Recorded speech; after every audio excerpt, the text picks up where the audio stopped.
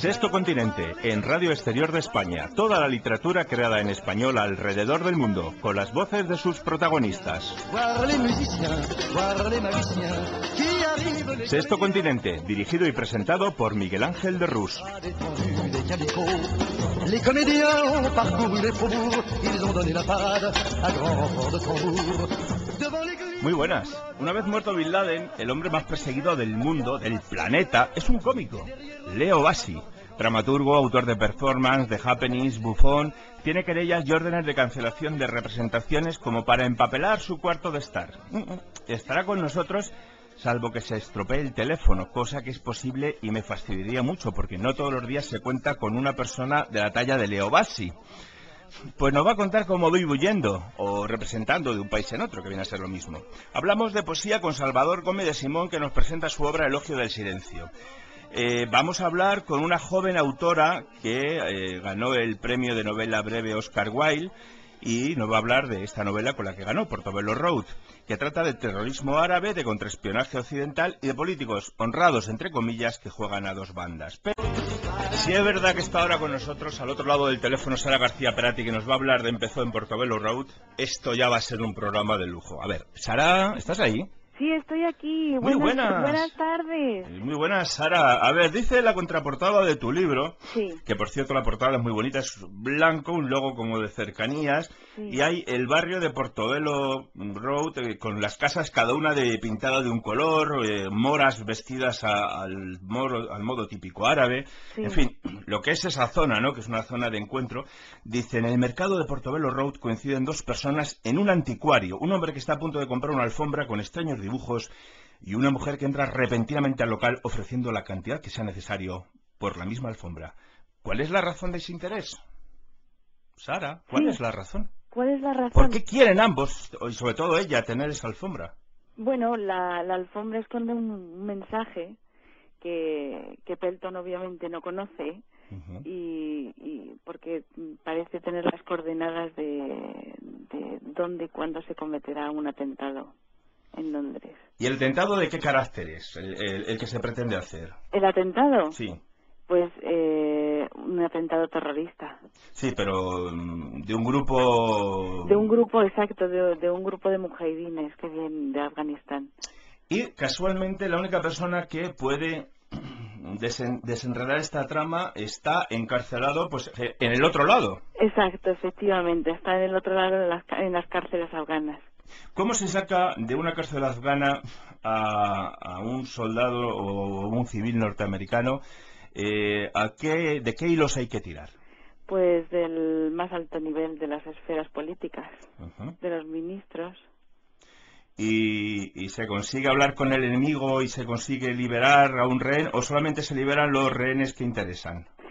Bueno, ahí, ahí está el trasfondo un poco de la novela que que reflejo que hay una doble moral en todo, que parece que los seres humanos hemos olvidado lo que está bien y lo que está mal.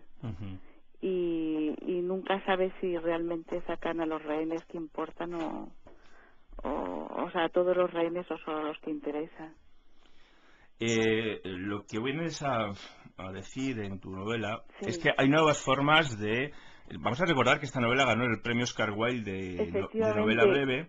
Y hay que decir que lo que vienes a contar es que hay nuevos modos de transmitir la información entre grupos terroristas y en este caso eh, lo planteas eh, por medio de la alfombra, o sea, con el mensaje cosido en una alfombra. Porque realmente mm, me imagino a las centrales de inteligencia eh, cuáles eran las nuevas formas de introducción de códigos cifrados y, la verdad que me parecía tan posible eh, una alfombra que pasara por delante de todas nuestras narices y no nos enteráramos que, que por eso eh, esta, me, digamos la alfombra misma me tendió la mano para entrar en su mundo. Yo soy muy partidario de, la narrativa breve. Creo que en estos momentos eh, hay muy buena narrativa breve en España, pero sobre todo en Hispanoamérica. Y lo que me resulta curioso es que empezó en Portobello Road. Son en realidad 92 páginas de texto que las lees de, una forma casi compulsiva, pero parece que has leído más, que hay más información de la que cabe en tan poco espacio. Pues eh, es, eh, digamos, eh, yo me recuerdo cuando, digamos, cuando estaba em, produciendo, el, digamos, el germen de, de la idea de esta novela, que al principio te encuentras solo con tus dos primeros protagonistas, que eran Pelton y Eve, que em, aparecieron una tarde y, y me invitaron, me abrieron las puertas de su mundo. Y realmente el mercadillo de Portobelo Road le tengo una estima especial porque cuando te sientas a observar con detenimiento cualquier escena, ya sea de curiosidad o de ventas, se produce una mágica atmósfera de intriga. Y eso hizo que esos personajes se volvieran reales y en ese sorprendente momento te das cuenta que dejes de ser tú y empiezas a comenzar a, ver, oler, sentir y pensar como lo hacen tus propios personajes. Y por eso, en esa actuación mental permanente, cuentas en el fondo con el privilegio de no tener que ceñirte a un único guion. En tu novela empezó en Portobello Road, hay eh, muchas descripciones de Londres. Se ve o que conoces muy bien Londres o que te has documentado muy bien. Bueno, em, conozco bastante bien porque tengo un hermano terminando un doctorado que vivía en Portobello Road, que también se quedó atrapado por una amenaza de atentado en, en el metro durante varias horas. Todas esas cosas también influyen un poco. O sea que al final se saca no solamente de la realidad, de los medios de comunicación, de la vida propia, sino se saca de tu entorno información y una novela. De imaginación, porque son en el fondo los personajes los que te van contando su mundo. O sea, que tú metes a los personajes de imaginación y les dejas fermentar como Dios manda. Exacto. Para que ahí salga la novela. Exacto. Eh, y ya para acabar, tú has participado últimamente en algunas eh, antologías. ¿Cuáles han sido estas antologías en las que has eh, participado? Pues he participado en la microantología del microrelato 2 y también eh, en una antología de, de, humor, El hombre que se ríe de todo es que todo lo desprecia. Que está a punto de salir y que, por cierto, tiene una de las portadas más sorprendentes. Esto, esto un día tendremos que colgarlo en el blog del programa porque tiene una, una portada... desde luego no te deja indiferente. No te deja indiferente, no. Tienes que ir a cuarto de baño directamente Es una cosa terrible. Eh, bueno, decía que era la última, pero ahora sí que vamos a la última.